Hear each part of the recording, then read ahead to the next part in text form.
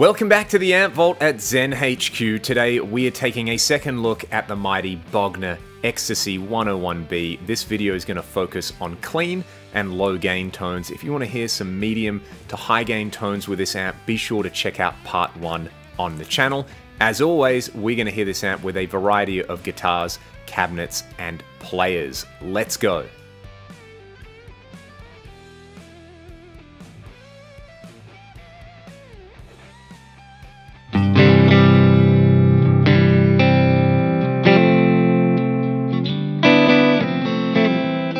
Thank you.